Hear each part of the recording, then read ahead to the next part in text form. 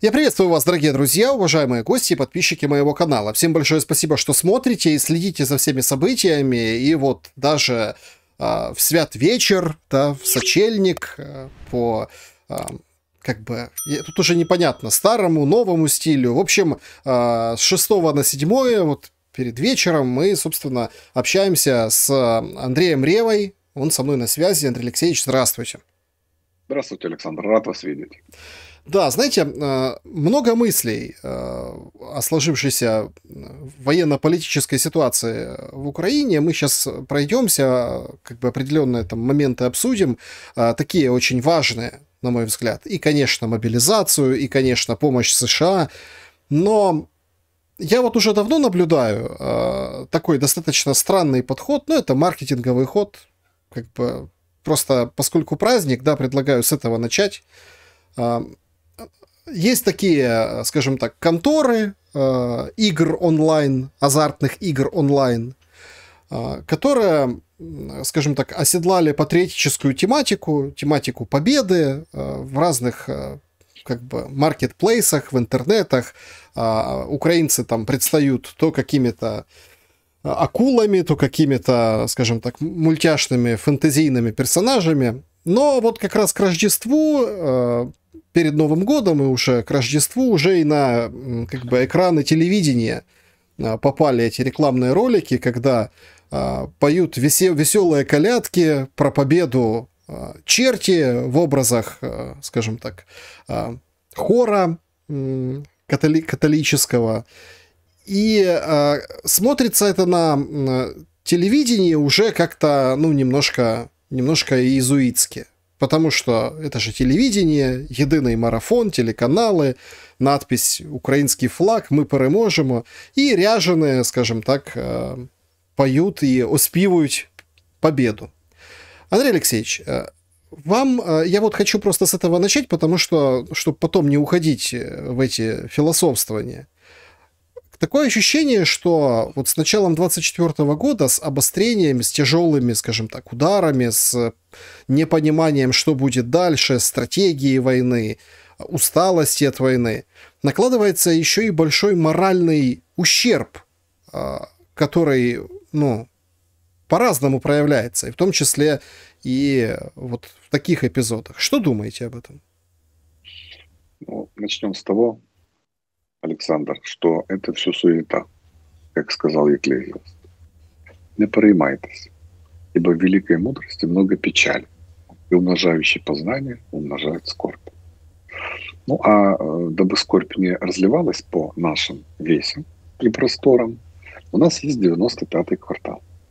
Вы сейчас говорите о э, тех мультфильмах и прочих, так сказать, виде, видосика, как у нас их называют, оптимистического характера. Ну так, боже мой, мы же с вами последние 10 лет, как минимум, жили в эпоху вот 95-го квартала, который, в общем-то, в прайм-тайм на лучших телевизионных каналах. Сначала это был Индер, потом один плюс один, они там закрепились. Чем они, по сути, занимались? Они занимались политической пропагандой. Потому что то, что они делали, трудно было назвать юмором. Э, если мы берем жанр, чисто с точки зрения вот того, чем они занимались, это политическая сатира. То есть они занимались высмеиванием всех наших политиков. А десакрализация политиков, десакрализация политики ведет к тому, что к тому результату, который мы сегодня увидели э, в 2019 году и к чему это привело. Кстати, в той же России, если вы помните, была программа «Куклы», и вот ее в свое время на заре, на пике популярности, ее взяли и закрыли. Это был один из элементов э, установления авторитарного управления, потому что как только власть при, запретила о себе любые сатирические куплеты там, и так далее и все прочее, она сакральна, ее трогать нельзя, она всегда окружена тайной. Это был один из элементов построения вот авторитарного государства. У нас, как вы видите, можно все, у нас было все дозволено. И как, как результат все, всего вот этого произошедшего мы имеем тот, э, то правительство и ту власть, которую демонстрирует бодрый оптимизм. Оптимизм всегда нужен. Но если вы помните, у нас был такой замечательный персонаж Алексей Арестович. Он мне чем-то напоминал Штирлиц. Помните, когда Кальтенбрунер обращался к Мюллеру с просьбой, у него возникли подозрения по поводу Штирлица. Он там привел три факта, которые, значит, вот связаны со Штирлицем, и что он там, значит, не, взорвал, не взорвался город Краков, где он должен был взлететь на воздух, значит, он занимался пропавшим ФАУ, и его так и не нашли. Якобы он там утонул в болоте. И оружием возмездия он занимался. Вот. А потом его Мюллер спрашивает, скажите, а вот у вас еще что-нибудь есть? Он говорит, я даже не знаю, что вам сказать.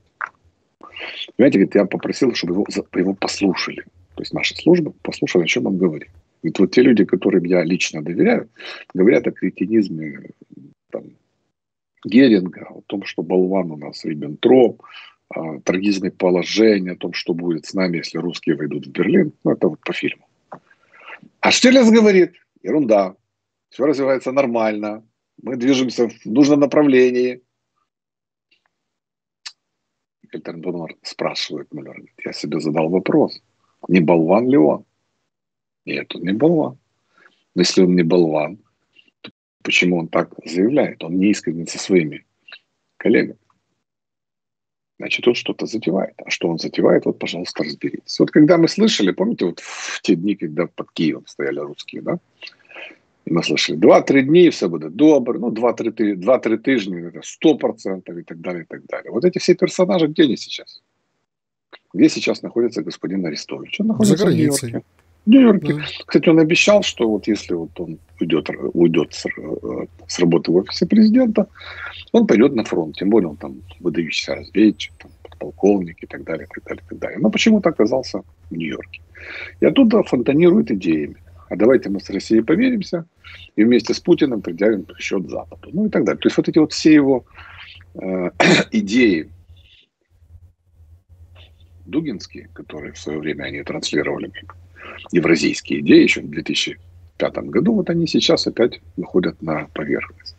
Но у меня простой вопрос, кто его выпустил за границу? Попробуйте вы или я, допустим. Кстати, выехать, просто выехать, не знаю, в Польшу, не знаю, там, Германию и так далее. Вас не выпустят. Многодетных отцов не выпустят.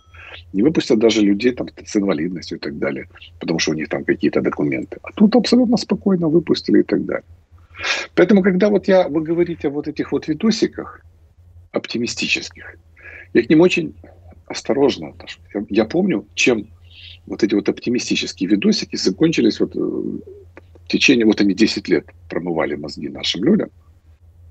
И вы же помните, как у нас изображались все наши руководители страны. И ни одного положительного персонажа.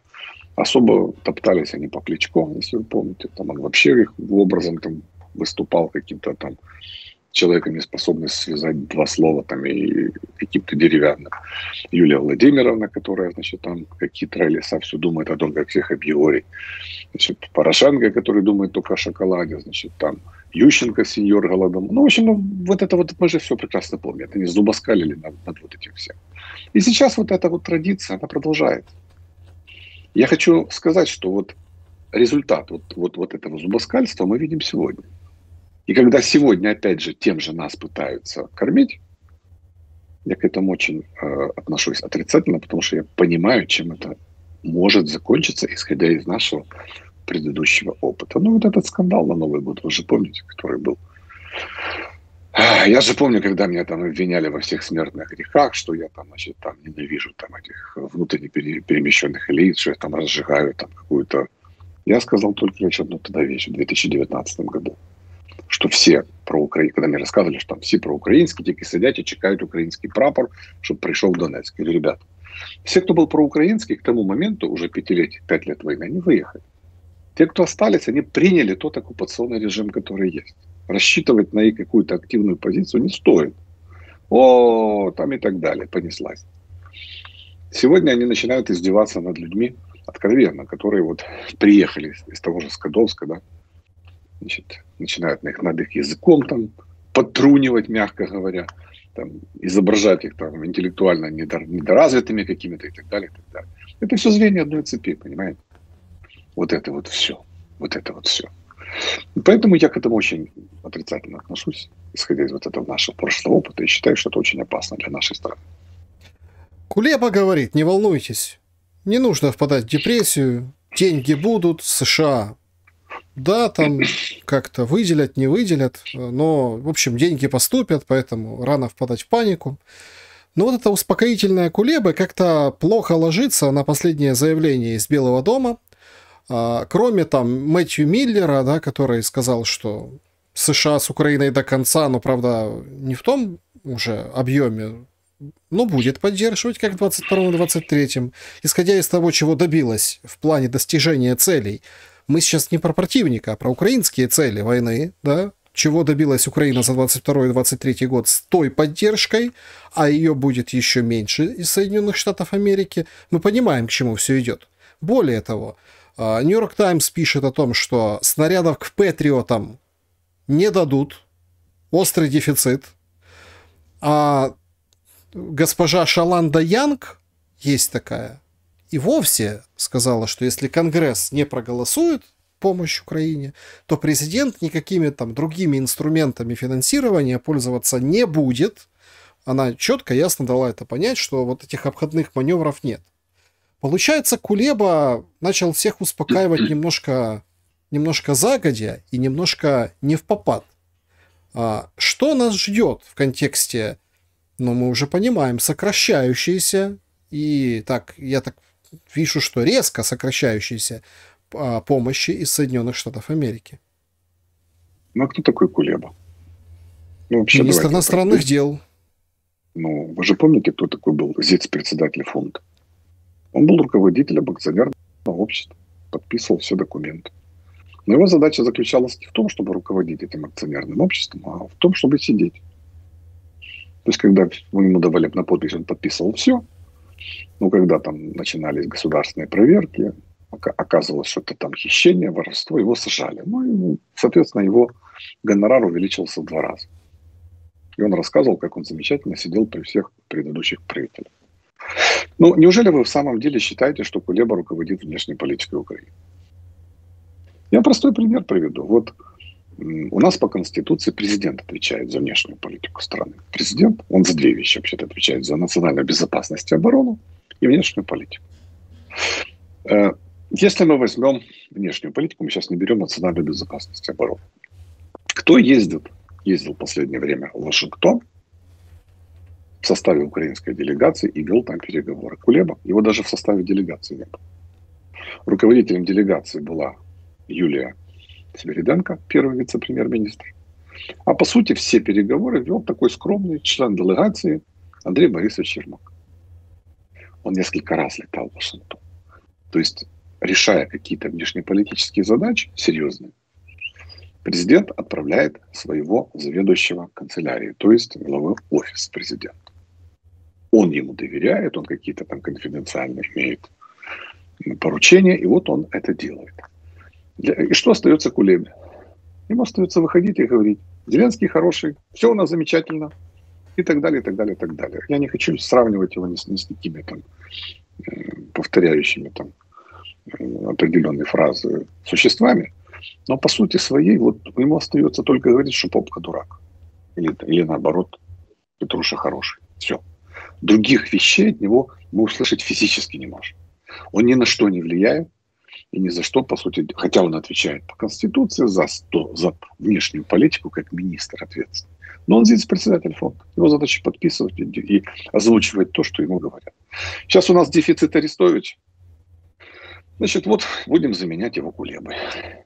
Он якобы там, вот он благообразное лицо имеет, он там какие-то там месседжи будет с телеэкрана нам вещать. Но к ним относиться нужно точно так же, как к самому Кулебе. Зная уровень его влияния и уровень того, э, тех возможностей, которые у него реальные есть. Он, он по большому счету никто, как и все в этом правительстве шмаля. Э, серьезнее надо относиться к тому, что говорит сам Зеленский.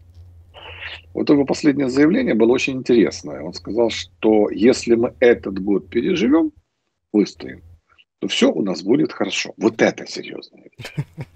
Да. А все, что сказал Кулеба, давайте мы забудем. Знаете, вот, как говорил Макар Нагульнов, в поднятой целине Шолохова. Вот на все, что он говорил, нужно наплевать и забыть. А у меня сразу, я, я понимаю, о, какой, там, о каком заявлении вы говорите.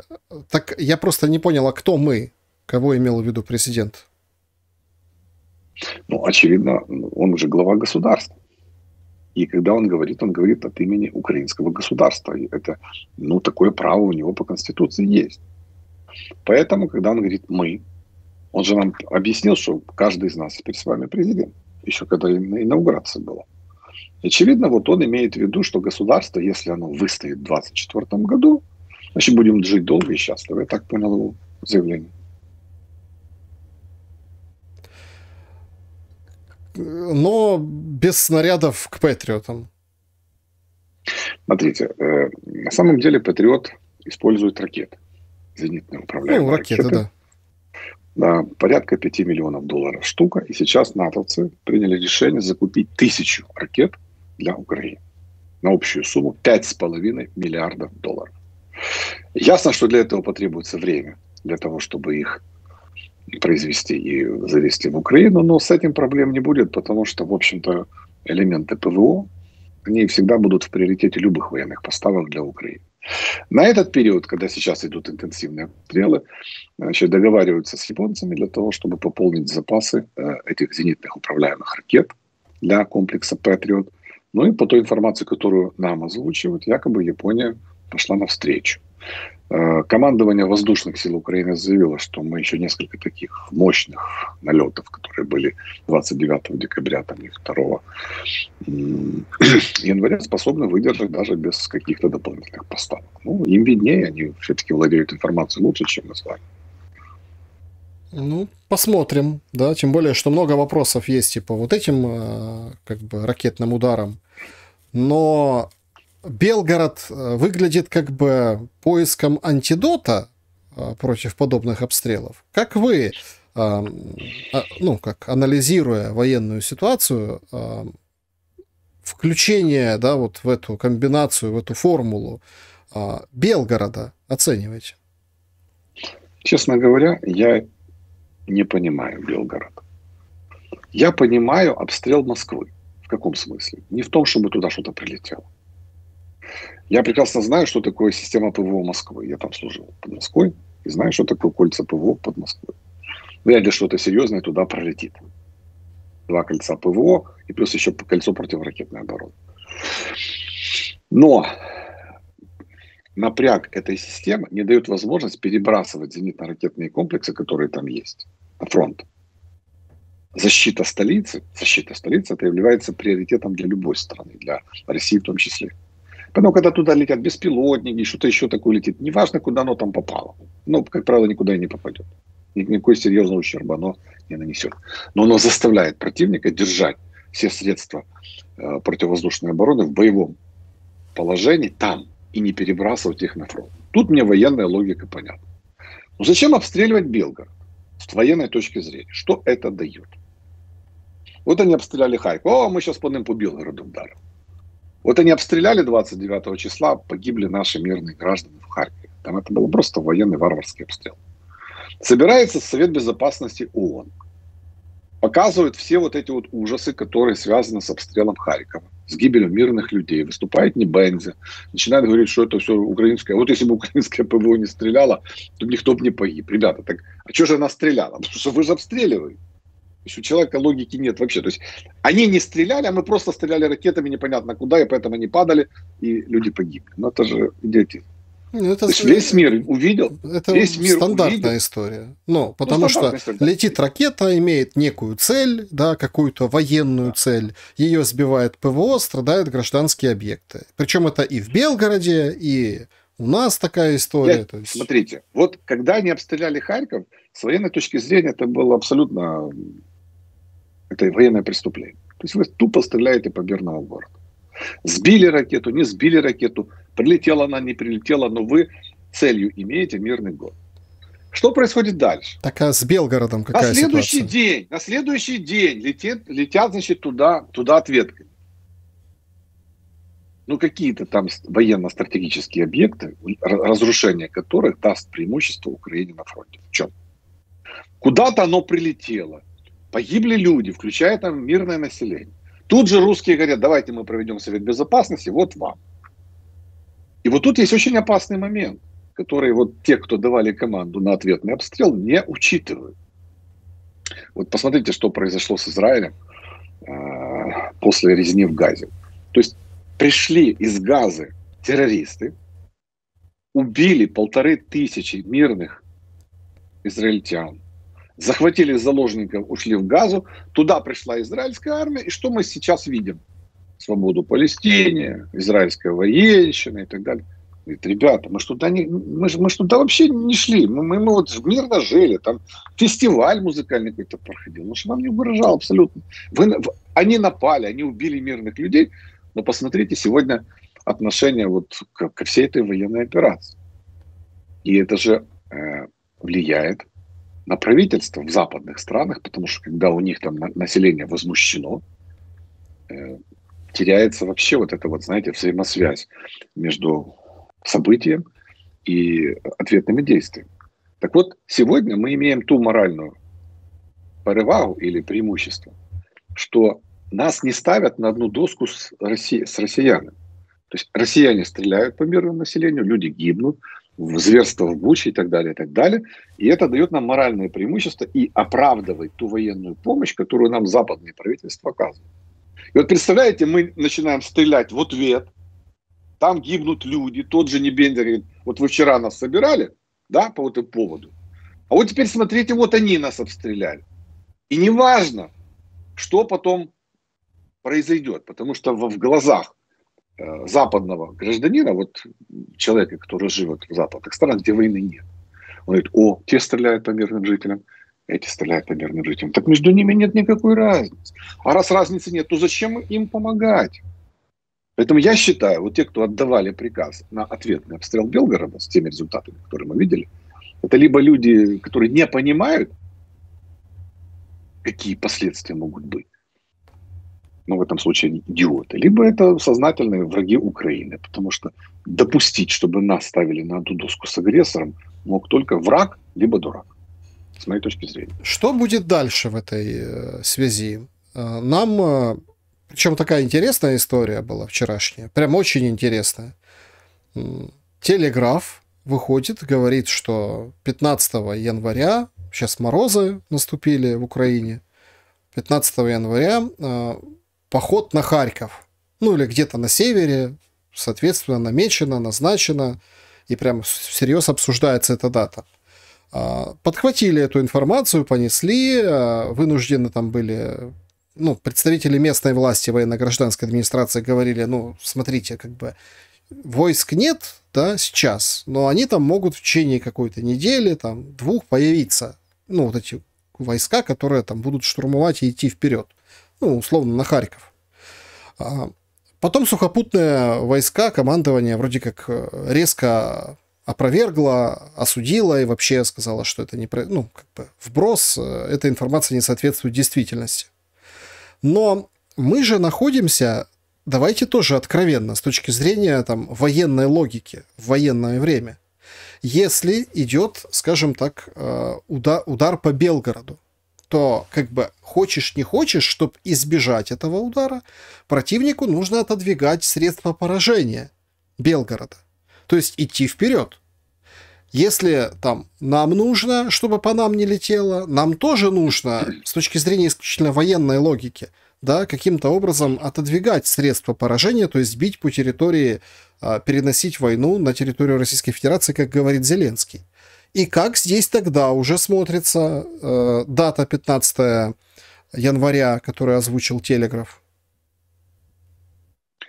Э, военная логика с, отод... с отодвижением э, средств поражения э, имела бы, скажем так, право на существование, если бы речь шла об артиллерийских ударах. То есть, условно говоря, когда лупит артиллерия, у нее максимальная дальность, ну так, эффективность стрельбы при хороших, скажем, тех же панцергаубица, там, допустим, не знаю, там, французские, значит, артиллерийские системы, они могут стрелять до 40 километров. От границы Украины до Белгорода 40 километров. То есть они, если даже они тупо на границе стоят, то артиллерия в лучшем случае может как-то долетать. Но они же не артиллерийские удары наносят по Белгороду, а наносят удары э, беспилотниками, либо ракетами. А там дальность полета гораздо выше 40 километров. То есть вторгаться для того, чтобы отодвинуть средства нападения противника на территорию Украины смысла нет. Но в чем, что здесь может быть? Вы же помните историю с Мариуполем? Мариуполь был прекрасно укреплен и прекрасно защищен от удара со стороны Российской Федерации. Вот с восточного направления Мариуполь был неприступен. И любые бы попытки пытаться прорвать его оборону, они бы стоили колоссальных жертв. Там были мотивированные солдаты, там была, мотиви... там была хорошо построенная оборона, но у него не было тыловой зоны. А вот с тыловой зоны зашла российская армия. С Крыма, через Мелитополь, через Бердянск. Значит, они наступали на Мариуполь с тыла, там, где вот этих укреплений не было. Это позволило блокировать Мариуполь и потом организовать тот двухмесячный штурм, который мы видели. По Харькову. Сейчас бои идут в районе Купенска. И логика российских военных мне понятна. Купенск – это важнейший железнодорожный узел, э, и удержание которого для украинской армии означает, что логистика, то есть поставки э, боеприпасов, вооружения, продовольствия, значит, всего, всех военных припасов, которые требуются для ведения боевых действий, она осложнена тем, что Купенск находится под контролем украинской армии. Поэтому они там ведут тяжелейшие бои под Тиньковкой, не допуская прорыва противника к Купенску.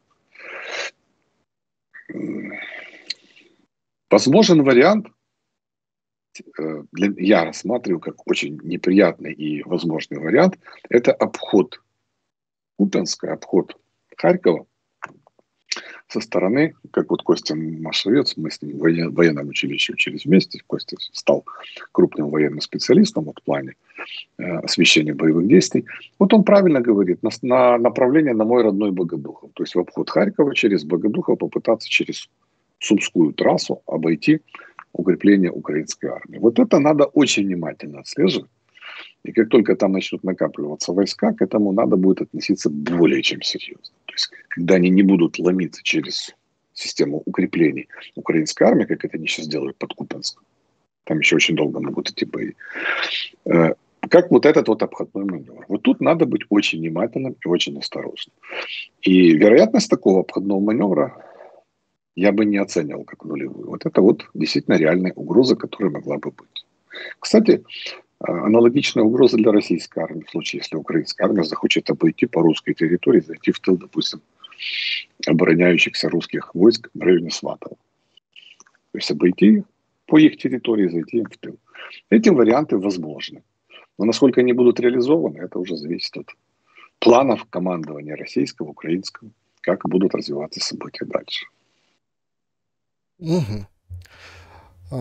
Что касается Черниговской области и угрозы вот прям Чернигову и Сумам, потому что, ну, тут есть Понятно, что есть очевидные вещи, есть неочевидные вещи, но с точки зрения военной стратегии надо бить там, где не ждут. Вот Харьков, да. Но э, Чернигов находится очень далеко от линии фронта. И Сумы тоже. Харьков ближе. То есть основная масса рус, российских войск находится на линии соприкосновения. Да? Вот сверху вот Боровой там и так дальше. Вот они так выходят аж к Энергодару там и так далее. Вот это 880-километровый фронт. То есть если обходить Харьков, то тылы русской армии недалеко. Вы сможете и поддержать их и так далее. Для того, чтобы наступать со стороны Чернигова, Сум, это уже большой отрыв от основной группировки. То есть там нужно создавать какие-то автономные система снабжения, система пополнения и так далее. Это не увидеть невозможно. Плюс э, нужно понимать, что вся северная граница Украины сейчас активно укрепляется.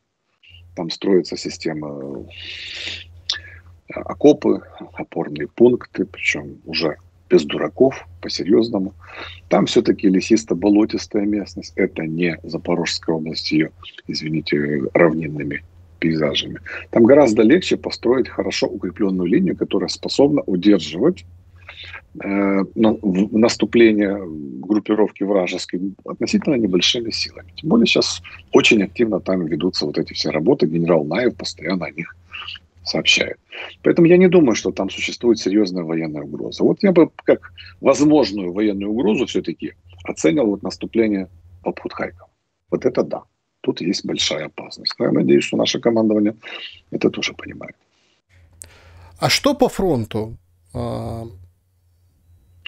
обвал по может фронту... случиться в 2024 году? Смотрите, по поводу обвала и по поводу фронта. На фронте случилось то, о чем писал генерал Залужный в октябре месяце. Его там все ругали, там рассказывали, что он там паникер, что он там еще что-то. Ну, давайте вот объективно оценим. Уже год закончился, уже можно подводить какие-то итоги. Говорят, что цыплят по осени считают, давайте посчитаем их уже в конце года. Каковы были планы украинского командования? Было сложно сказать. Почему? Потому что озвучил только один раз президент. Я считаю, что вот план это, это когда верховный главнокомандующий говорит о том, что вот у нас такие планы есть. Он как-то сказал, что мы должны освободить три города. Он их не называл, поэтому мы можем гадать, о каких городах шла речь. Но ни одного города мы в 2023 году освободить не смогли. То есть делаем вывод, что те планы, которые у нас были, они не были реализованы. С другой стороны, российское командование, начиная наступление под Бахмутом, еще в начале 2023 года ставила задачу выхода на административные границы Донецкой области. Ну, так была поставлена стратегическая задача. Тоже мы можем сказать, что эта задача решена не была. Если вообще мы посмотрим изменения линии соприкосновения в течение года, вот наши войска прошли до работы на 9 километров вглубь территории, э, вглубь оборонительных порядков российской армии. Значит, где-то они там наступают под Авдеевкой какие-то километры, несколько прошли там под Синьковкой. То есть колебания линии фронта, ну, в общем-то, в пределах ну, до 10 километров в течение года. Это о чем говорит? Это, это говорит о позиционном характере войны. А, что значит обвал фронта? Обвал фронта это, это крупный прорыв. Крупный прорыв линии фронта, как показала практика ведения военных действий, при правильно построенной системе оборонительных сооружений, укреплений, она на данном этапе невозможна. Она была возможна еще в конце 2022 года, когда э, не было мобилизации проведено в России, когда вот эту огромную территорию Харьковской области, в общем-то, там не было сплошной системы оборонительных укреплений – Туда были переброшены дополнительные силы украинской армии. И, соответственно, как только они пошли вперед, россияне просто отвели, оставили эту территорию, понимая, что если они будут пытаться какие-то опорные пункты удерживать, то это закончится окружением и разгромом тех, кто там находится. Они просто ушли. То же самое они сделали на правом берегу Днепра, понимая, что затраты на удержание вот этого плацдарма они не стоят вот этих потерь, которые они там несут. Поэтому они тоже оттуда ушли. Вот они сконцентрировались на этой линии, они построили систему укреплений и начали ждать наступления украинской армии, которая в июне началась.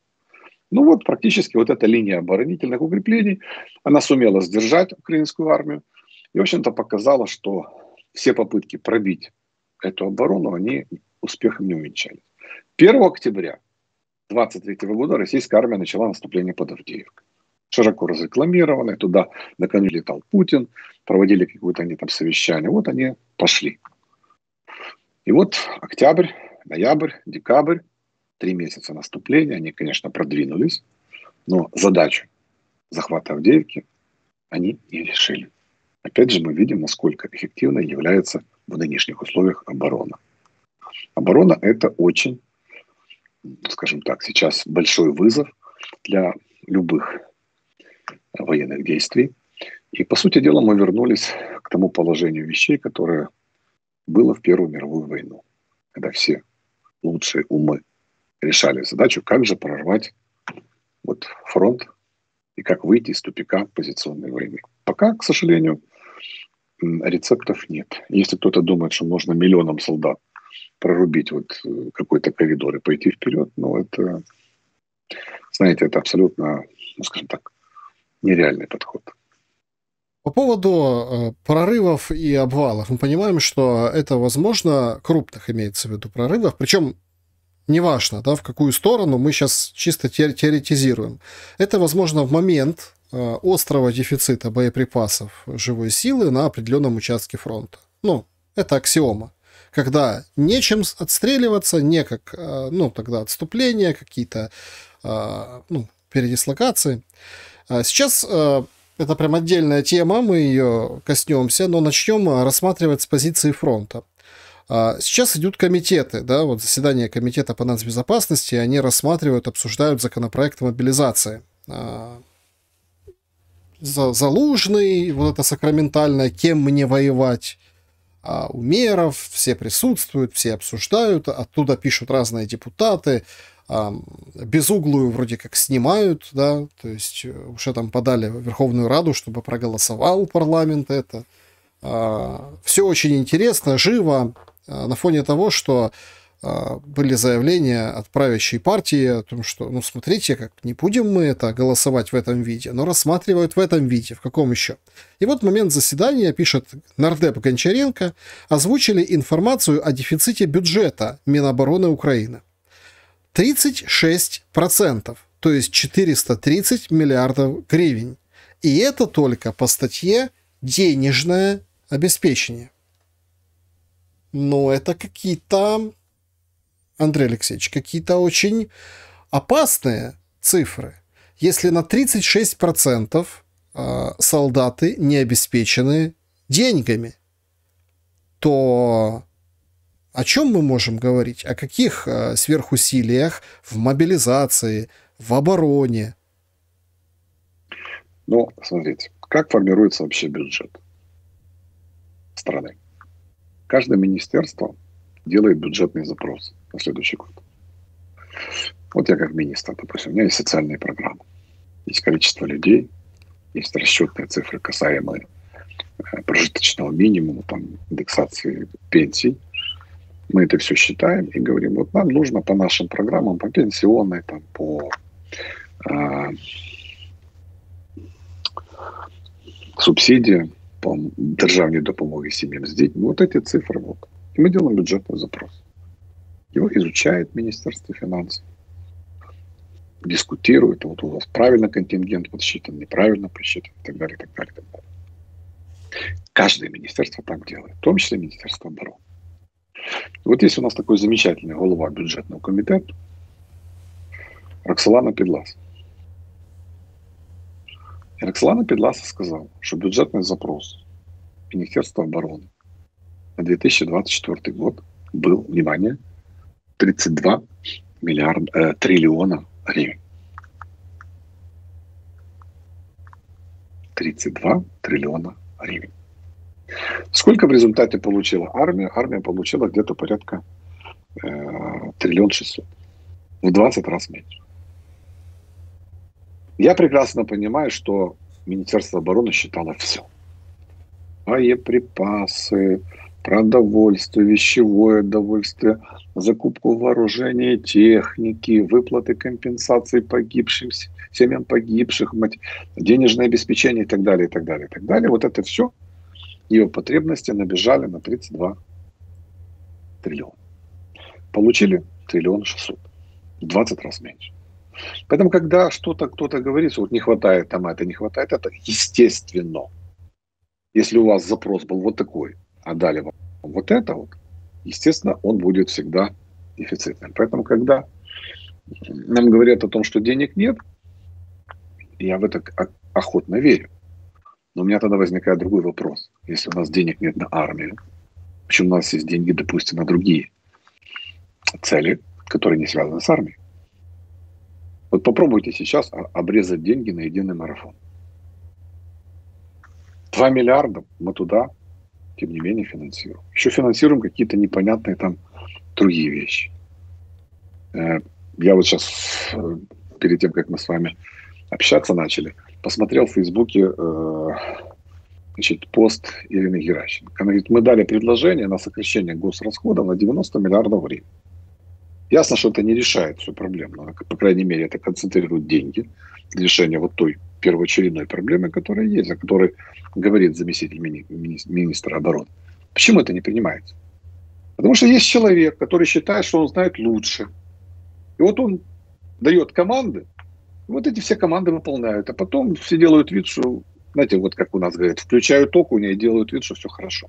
Ну так давайте под и заменяют историю... это дело, и заменяют это дело видосик, давайте по... который с прапором ходит и рассказывают, как все будет. Под эту историю давайте еще наберем, сколько там, 500 тысяч э, мобилизуемых.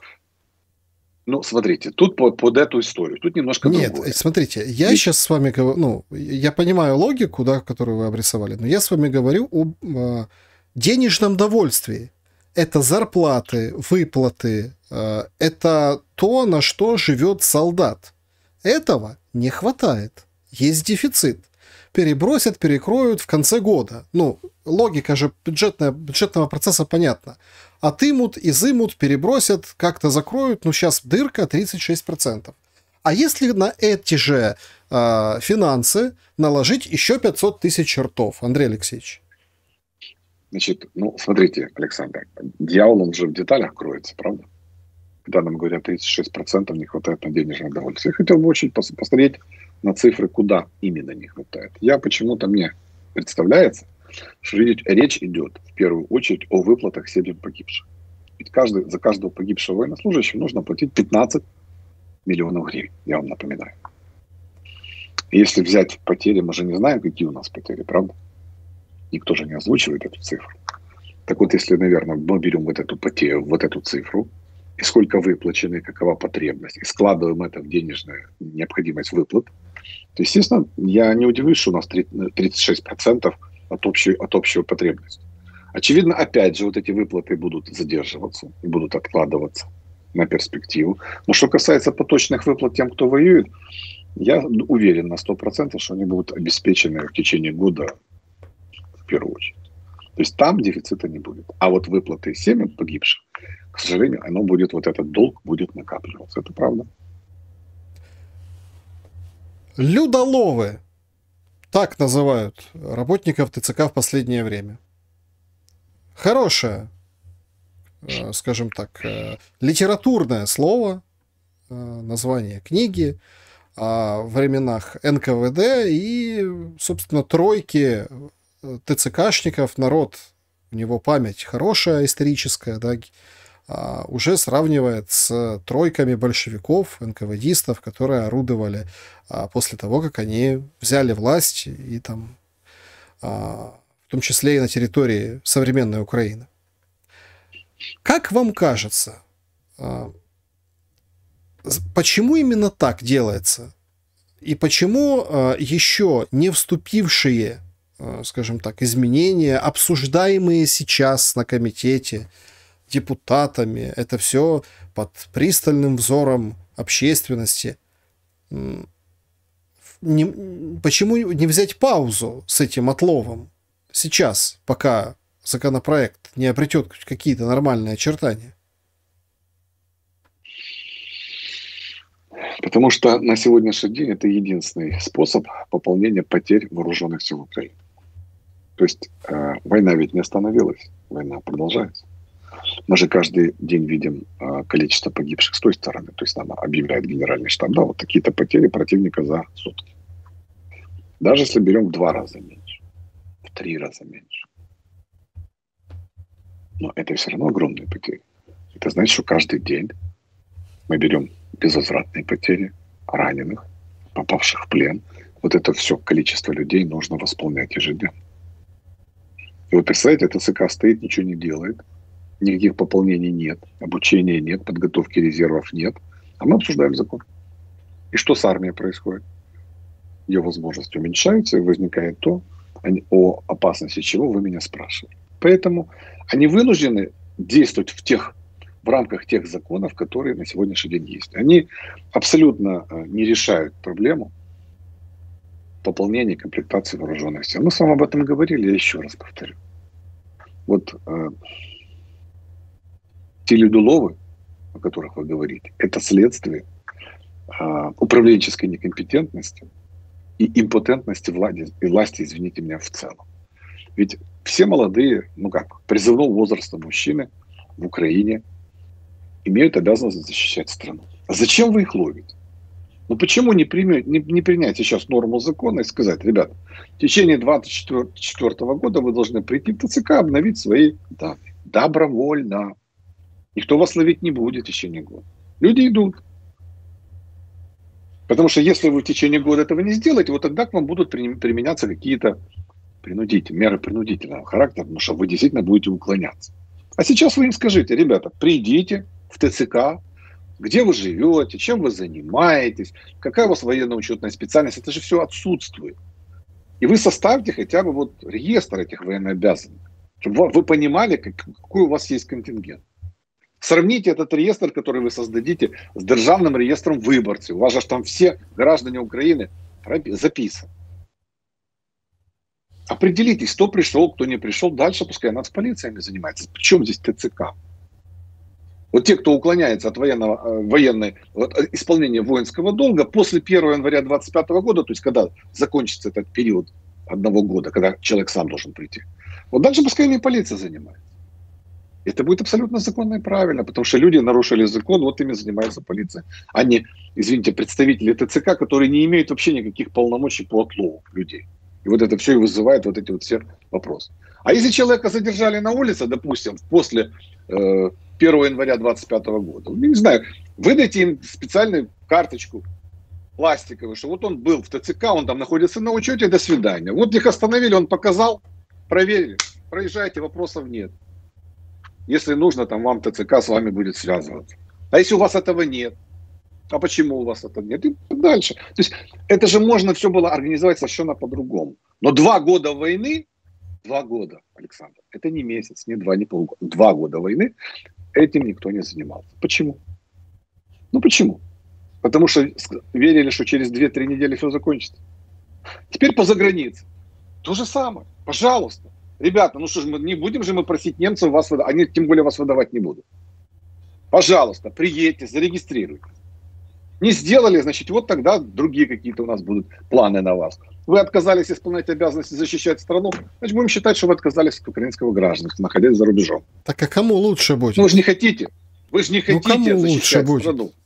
Ну вот вы же понимаете... Я думаю, всем будет. Нет, вы же понимаете, в чем думаю, дело? Думаю, всем лучше это, будет. это, это для этих людей будет подарок, понимаете? Пожалуйста. Ну. Да, но конфискация имущества в Украине. Да, ты отказался, ты убежал, у тебя есть земля, у тебя есть недвижимость, ну, деньги какие-то есть здесь. свидание. Это пойдет на войну, раз ты не хочешь. Мы же разводимся. Ты ушел, пожалуйста. Имущество в стране, которое защищается. Поэтому ну, нельзя вот это, знаете, вот когда идет война, когда вот мы стоим вот на, в, так, в такой тяжелейшей ситуации, играться, пытаться полумерами что-то решить. Давайте мы их будем стимулировать. Это как? Это же война, это, это угроза жизни, это угроза здоровья. Ну, так э, звуча, звучат же, защищать звучат же в, Каб, в Кабмине претензии, ну, предложения, да, там, просчеты. А вот если у тебя официальная зарплата там 50-60 тысяч, понятно, понятно, ты платишь понятно. нормальные налоги. Что тебя мобилизировать? Бронь тебе, по ФОПам тоже можно что такое придумать. Вот смотрите, как много налогов платишь. Ну, сиди в тылу, работай, плати налоги, помогай стране. Нет, Александр, это не конституционно. У нас четко написано в Конституции. Ну, погодите, для на Закарпатье а хватать, вот эти, хватать мужика люди... и женщину с ребенком оставлять в машине, а увозить в неизвестном направлении. Сегодня об этом, вчера об этом видео вышло, Александр, сегодня, мы же только что с вами, сегодня Мазарашу. Это конституционно? Мы же только что с вами об этом говорили. Это следствие неурегулированности этого вопроса. Если бы сейчас, не надо, ну, не надо придумывать ничего. Зачем вот эти вот будем... Вы примите простой закон. Обяжите всех мужчин в течение 24 года прийти в военкомат, в ТЦК. И не надо их ловить.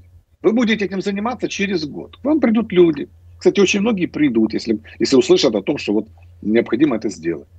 Придут. Придут, придут. Это не те будут добровольцы, которые два года назад, но придут, уточнят свои данные и так далее. Так пройдут медкомиссию. У вас уже будет хотя бы миллион, полтора, два, три людей, которые зарегистрированы. Дальше, если вы хотите набирать их, пожалуйста, можете вернуться к практике американской армии. Когда для войны во Вьетнаме там, или со времен гражданской войны была жеребьевка. о которой Милованов сказал, что его начали хейтить. Так мой прадед воевал в русской императорской армии с 16 года по жребию. Его мобилизовали, он попал на румынский фронт, и потом их там, как он говорил всегда всю жизнь, нас генерал Щербачев всех продал. Это командующий румынским фронтом. Он попал в плен, в Талергофе сидел. Потом убежал оттуда. Ну так это же общая практика. Только жеребьевку надо начинать в Верховной Раде. Є у нас там хлопцы призывного віку? Є. Делаем прямо вот по телевизору. Собрались все. Сколько их там? 100, 120 человек, 130. И тянут жребий. Да, Верховная Рада, значит, сколько там? 5-10% ушло на фронт. Нема питань. Их заменили за счет того, что по списку, по списочнике подтянули. Чтобы Верховный Совет у нас не оголялся. И давайте, ребят, Кабмин, что там, нема здоровых хлопцев? Пожалуйста, проводите там. Это надо, чтобы страна видела, что вот эти люди, которые при власти, первыми идут на фронт. Это мы дальше мы будем проводить жеребьевки, но с себя начнем. И вот тогда вопрос, очень много вопросов само, сами собой отпадут. Только важно еще будет проконтролировать, чтобы они не в штабе, не в штабе сидели, а в соответствии со своей военно-учетной специальностью применялись на фронте. Это вот было бы правильно. А, друзья, пожалуйста, подпишитесь, напишите, что думаете вы. Андрей Алексеевич, с Эрдоганом Зеленский созвонился. И очень разное получили мы, ну, как бы официальное описание этого разговора. Без подробностей у нас и, скажем так, с посылом о прекращении огня, да, вот со стороны турецкой. Будет прекращение огня? Это просто нам Я Зеленский думаю... не говорит, а в мире это уже обсуждается в полный рост? Э, я думаю, что звонок Эрдогана был связан с другим, на самом деле. А, Великобритания нам передавала четыре корабля для разминирования акватории Черного моря. И Турция их отказалась пропускать через Босфор и Дарданелл на основании 19 статьи Конвенции Монтрео. Военное время военные корабли воюющих сторон не пропускаются. Она не пропускает русские военные корабли. Поэтому пополнять Черноморский флот, который несет потери, Россия не может – потому что нужно строить новые корабли, это же вы понимаете, годы. Поэтому на их на всякий случай из Крыма оттянула в Новороссийск. Сейчас Британия предложила, вот мы дадим Украине для разминирования, они сказали нет. Но они правы. В том смысле, что если они применяют конвенцию Монтрё, то она касается всех воюющих сторон, правда? Нельзя так, что мы эти пропускаем, а эти не пропускаем. Тут Эрдоган, как говорится, действует последовательно. Но он понимает, какой эффект это вызывает, скажем, у украинского руководства, да? О том, как писала наша пресса, когда Турция запретила проход этих кораблей. Поэтому он звонит и Зеленскому, объясняет ситуацию и обсуждает вопрос. В том числе очевидное прекращение огня. Но это не главный был вопрос, по которому звонил Эрдоган. Я считаю, что вот он звонил, чтобы объясниться по поводу вот, этого, вот этих вещей. Дальше говорится о том, что они обсуждали вопросы зерновой сделать. Ну, то, там, то есть там был целый круг вопросов, который, о которых они говорили. О чем договорились, мне сказать трудно, но прекращения огня не будет. Это не зависит от желания Зеленского и от желания Эрдогана. Мы слышали выступление Путина, четко сказано, мы будем добиваться всех целей специальной военной операции. Одно из них – это изменение э, правительства Украины. То есть нацистов геть, значит, все, что мы захватили, то наше, Украина гнена. Ну, в общем, вы же помните все вот эти вот его посылы. Поэтому прекращать огонь в таких условиях никто не будет. Это же понятно. Поэтому Эрдоган сделал ритуальное предложение, получил ритуальный ответ, переговорил с Зеленским, объяснил ему свою позицию, обсудили какие-то темы приятные, и все. Больше ничего. Ну, то есть э, огонь должен потухнуть сам, когда перестанет, огонь... когда не будет снарядов. Э, понимаете, в чем дело? Снаряды ведь будут всегда. В каком количестве, это уже другой вопрос. Но сейчас, как ни странно, на первое место выходят даже не снаряд. Вот если мы посмотрим статистику потерь, на первом этапе это были потери, в общем-то, от э, когда вот они проводили наступление на Киев, там были большие потери от э, непосредственно стрелкового оружия. Потом, когда второй этап начался с наступления под Харьковом, там, на Изюм там, и так дальше, они применяли артиллерию и были основные потери от артиллерийского огня. Сейчас постепенно э, увеличивается процент потерь от FPV-дронов. Сейчас практически идет война дронов. Если вы откроете интернет, тот же Telegram, вы же видите, как работают операторы FPV-дронов. Они убивают каждый день огромное количество солдат, которые находятся на передовой.